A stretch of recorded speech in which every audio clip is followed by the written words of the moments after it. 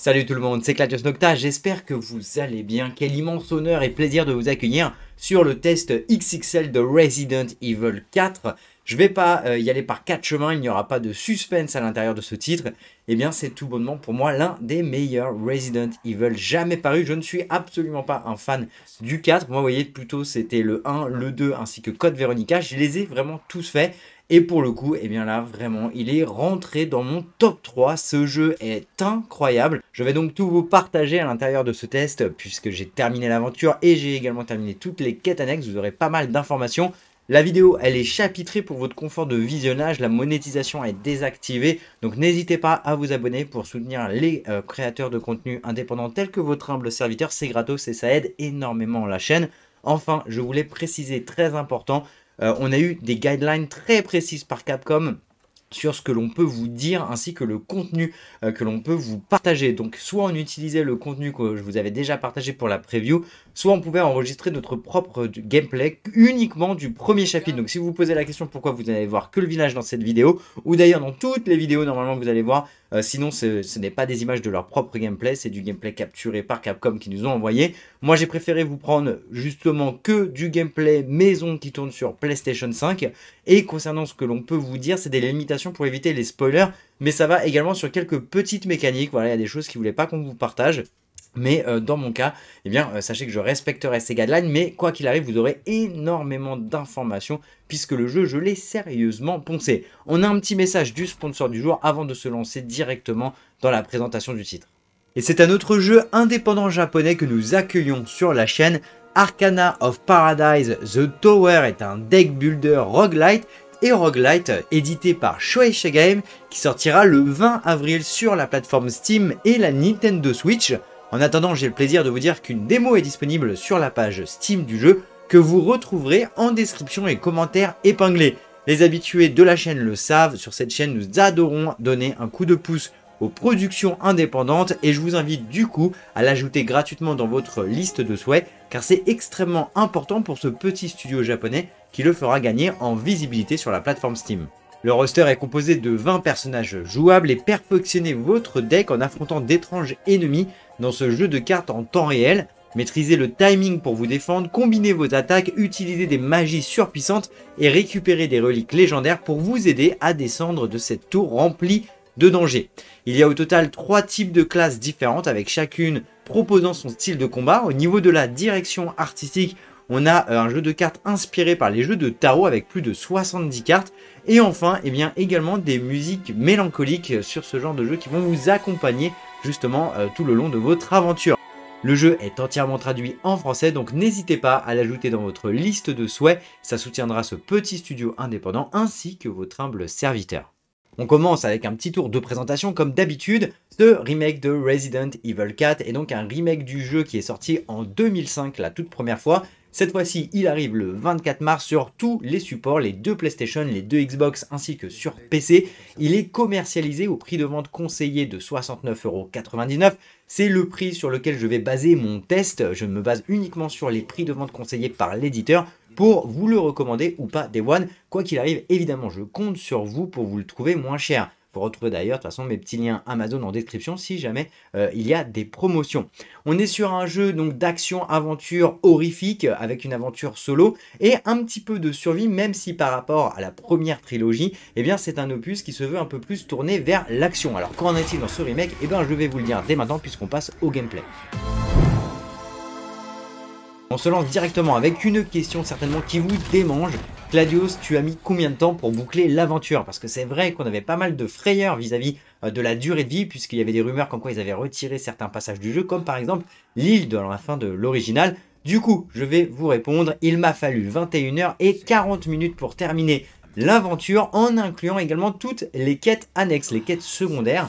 Euh, qui sont en fait des quêtes que vous trouvez sur les murs. Vous avez des petits papiers bleus et en les prenant, eh bien, euh, on va vous donner des missions secondaires. Alors après, je vais pas vous mentir, c'est vrai que ces missions secondaires en général, elles se situent quand même sur votre route. Vous avez de légers détours à faire. Mais euh, du coup, c'est vrai qu'il est assez facile de les compléter. Attention, j'ai eu quasiment tous les trésors, mais pas tous. D'ailleurs, j'aurai une vidéo tips et astuces qui va sortir justement après que l'embargo soit levé et où je pourrais vraiment vous partager beaucoup plus de contenu sur justement les petits secrets, les choses à éviter, il y en a plein. Euh, si jamais vous voulez pas avoir des regrets comme moi, euh, sur votre premier walkthrough puisqu'il n'est pas possible de rejouer un chapitre spécifique, je vous invite vraiment à vous abonner pour avoir au moins cette vidéo et euh, vraiment vous assurer euh, de bien démarrer et de ne rien rater. Bref, donc concernant la durée de vie, 21h et 40 minutes pour le terminer en normal en incluant toutes les quêtes annexes, ce qui est très très bon, hein, très sincèrement, pour ce type de jeu. On a l'habitude que ça se termine en une dizaine d'heures, faut voir même Resident Evil 3 Remake qui était assez décevant vis-à-vis -vis de ça. Donc là, je vous rassure, la durée de vie est tout à fait correcte, on a pas mal d'activités secondaires. Et euh, je vous le dis, euh, pas de problème, aucun passage n'a été retiré. Il y a quelques modifications, mais ça, ça sera à vous de le découvrir. Je n'en dis pas plus, mais en tout cas, je tenais à vous rassurer là-dessus, puisque c'est vraiment une question qui était assez houleuse, assez euh, importante de traiter dès le début. Les autres nouveautés de gameplay, c'est certainement la partie un peu infiltration que l'on a sur le titre. Et euh, moi, personnellement, ça m'a énormément plu, cette approche. Et c'est surtout pour sa rejouabilité. C'est vrai que j'ai été assez surpris, euh, puisque j'ai recommencé un run. Et, euh, bien du coup, j'ai découvert des nouvelles scènes, des choses que je n'avais pas vues lors de mon premier walkthrough. Où bah, sur mon premier walkthrough, j'étais vraiment sur l'infiltration. J'essayais de pas me faire repérer, quitte à même refaire de temps en temps des phases. D'ailleurs, ça pourrait expliquer, si jamais vous entendez une durée de vie inférieure à 22 heures quasiment euh, pour moi, eh bien c'est se trouve, c'est parce que moi j'ai refait des phases, j'avais vraiment envie de tenter l'infiltration, et euh, en plus si vous ne faites pas les quêtes annexes, je ne serais pas surpris qu'un autre testeur vous dise qu'ils ont terminé sur les coups de 18-19 heures. Mais bref, retournons donc sur ce point positif qu'est l'infiltration qui propose de la rejouabilité et qui n'est aucunement forcée, c'est vraiment au choix du joueur les anciens qui ont aimé le côté action de RE4, eh bien eux, il n'y a pas de problème. Hein. Si vous voulez distribuer des kicks, euh, lancer de la grenade, etc., vous êtes bon, mais sachez qu'il y a cette option et ça va vous permettre en plus euh, d'avoir une aventure un petit peu différente. Attention, on ne va pas la refaire de A à Z euh, complètement en infiltration. Il y a des passages obligatoirement forcés sur l'action, mais en tout cas, c'est vrai qu'il y a cette présence, cette subtilité de rejouabilité. Donc ça, c'est un point positif. Euh, l'autre point positif que je tiens à mentionner, c'est le couteau. C'est vrai qu'on a un système un petit peu de contre. Alors attention, je vous le dis tout de suite, s'il y a quelqu'un qui me dit que la parade est difficile sur ce jeu, je vais péter un câble. Ce n'est plus possible. Euh, le timing de la parade au couteau est méga longue. Mais vraiment, j'insiste, on parle de vraiment 2 à 3 secondes. Vous appuyez juste sur L1 et Léon va mettre sa garde mais euh, sa garde elle est valide en, mode parade pendant 2-3 vraies secondes. C'est extrêmement long. Donc pour parer des, zombies, là, des, les, Las Plagas, euh, les ennemis du jeu, qui vous lancent euh, des haches, qui essayent de vous planter avec une fourche, etc., si quelqu'un vous dit que le jeu propose du challenge et qu'en plus il faut un certain niveau de réflexe, il se fout de je, vous laisse terminer la phrase parce que c'est pas du tout le cas. Vous avez juste vraiment à rester appuyé à l'un dès que vous voyez le début de l'animation du mec et la parade elle est garantie.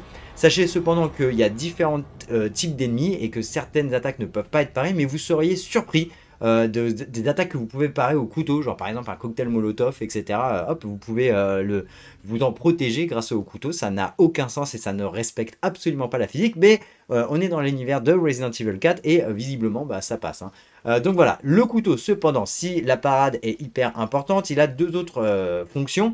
La première, c'est que ça va vous servir également euh, dans le cas où un ennemi vous saisit. Ça inflige énormément de dégâts et en appuyant sur R2 vous allez pouvoir le planter. Alors ça c'est vraiment très pratique au lieu de spammer croix pour vous délivrer. Cependant, ben, euh, l'autre euh, on va dire un petit peu malus c'est que votre couteau, votre couteau pardon, il a de l'usure. Au bout d'un moment il va se casser. Vous pouvez voir sa petite barre de vie et plus vous l'utilisez, plus forcément ça va impacter son usure mais surtout c'est que certains types d'actions consomment beaucoup plus son usure que d'autres. Et notamment donc euh, de vous libérer de l'emprise d'un ennemi, ça va vous bouffer énormément de portions de vie de votre couteau. Vous pouvez le réparer au marchand, vous pouvez trouver d'autres couteaux de moindre qualité que le couteau que vous avez de base.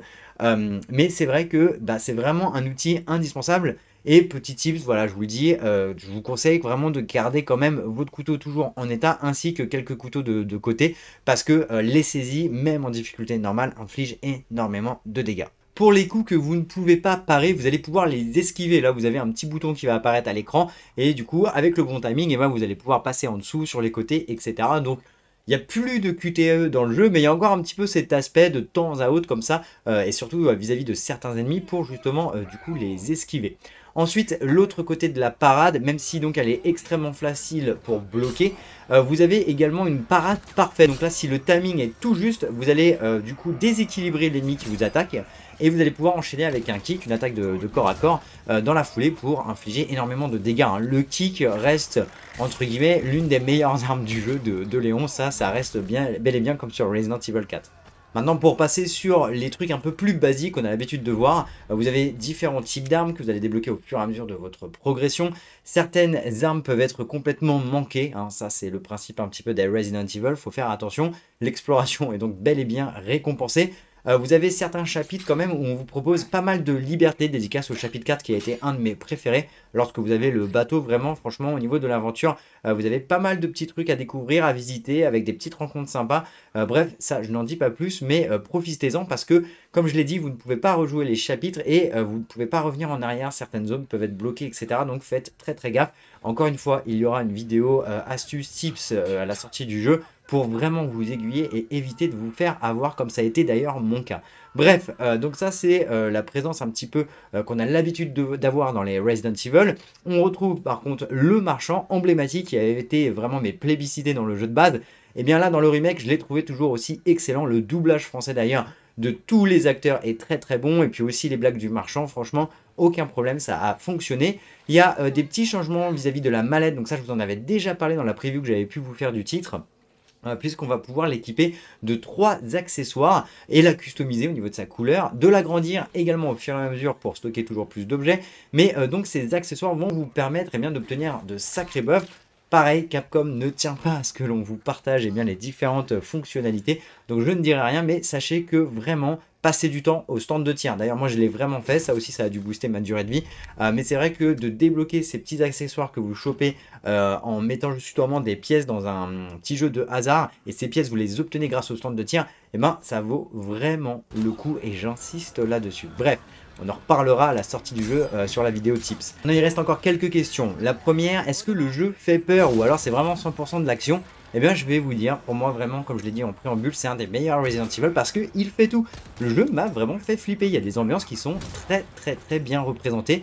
On parlera de la partie technique dans un instant, mais euh, en tout cas, globalement, oui, le jeu va vous procurer d'excellentes sensations. Moi personnellement, deux fois, bossant sur le test, il était 1h euh, du mat dans le noir vous assure que je me sentais pas forcément au max du max euh, en jouant à ce Resident Evil 4. Donc ça, c'est un autre point positif. C'est pas que de l'action pure et dure. On arrive à avoir des périodes de tension, de suspense, de jumpscare, donc ça fonctionne. Ensuite, la deuxième question, c'est pour les anciens. Est-ce que Ashley est toujours aussi relou? Eh bah franchement un petit peu moins, mais quoi qu'il arrive, je trouve que les développeurs ont un peu conservé ce sens de l'humour qu'ils avaient euh, en disant c'est vrai qu'on leur a bien pété les oreilles euh, à l'époque et tu sens que des fois ils ont voulu le refaire un petit peu, même dans des cutscenes, euh, on peut entendre du coup Ashley avec son Léon Léon Ça m'a fait vraiment sourire. Donc voilà, bien joué au dev. Parce que pour ceux qui ont la rêve du coup sur 2005, Ashley vraiment, elle était ultra relou. Et c'était une assistée. Donc là, vous allez le voir, de temps en temps, elle nous euh, refait des, siennes, mais ça reste quand même un petit peu moins lourd que ce que c'était sur le jeu de base. Donc pour conclure sur le gameplay, je n'ai quasiment que des points positifs. Le seul petit point négatif que je donnerais, c'est euh, cette parade, ce blocage au couteau, un petit peu trop généreux à mon goût ça facilite, pardon, un petit peu le gameplay, mais euh, globalement la difficulté est bonne, le jeu fait peur, on retrouve un petit peu les codes du 1, là où le jeu est très intelligent, franchement ça, gros respect aux devs de Capcom, c'est que il respecte en fait les anciens joueurs en ne dénaturant pas le gameplay. On peut retrouver tout ce côté action euh, à, souhait. Mais euh, pour ceux qui ont envie un petit peu de faire d'infiltration, c'est présent. Et en fait, on ne force aucun euh, joueur à jouer justement sur l'infiltration. Le côté action est toujours présent à certains moments, vous n'avez pas le choix. Et puis, si vous avez envie d'y aller à la bourrin de A à Z, vous pouvez. Si vous voulez un petit peu être discret, et eh ben, vous pouvez également. Et en plus, on vous propose des, hum, situations différentes. Donc vraiment, je n'ai que des louanges à faire vis-à-vis du gameplay. Le bestiaire est varié. Bref, franchement, encore une fois, chapeau, euh, j'ai absolument kiffé. On passe maintenant euh, du coup sur la partie technique.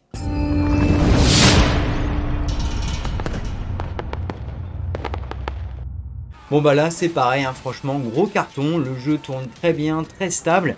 J'ai un énorme point négatif à donner, mais on m'a dit, on m'a confirmé que ça sera solutionné day one pour vous. C'est la pluie. Purée, qu'elle est dégueulasse. Euh, faut vraiment qu'il fasse quelque chose. Donc, euh, je vous invite, en tout cas, si vous n'allez pas prendre le jeu de Day One, eh bien, euh, quand même, ça arrive sur les, premiers chapitres. Il y a un moment où il y a beaucoup de pluie. Et c'est vrai que ça abîme la rétine. Mais au-delà de ça, sinon, une fois que la pluie s'est barrée, et j'espère en tout cas qu'ils vont la solutionner dès que possible, eh bien, le jeu tourne très très bien. J'ai eu aucun problème technique, d'excellentes sensations avec la DualSense. Ça fait plaisir un éditeur et un développeur qui bosse justement sur la version PS5 en prenant justement avantage de la manette qui est vraiment une plus-value hein, sur, euh, sur console. Si euh, vous l'avez, vous savez de quoi je parle. Donc ça, c'est un vrai point positif. le jeu est beau, superbe éclairage, des scripts millimétrés avec des séquences qui se déclenchent au bon moment. Bref, franchement, pas grand-chose à dire. Peut-être de temps en temps, lorsqu'on tire avec des armes très lourdes, bon, les cadavres qui peuvent être un petit peu désarticulés, voilà, qui, on, voit un petit peu que là on y allait un peu trop fort et que le jeu il sait pas trop quoi faire. Mais vraiment, encore une fois, c'est très occasionnel.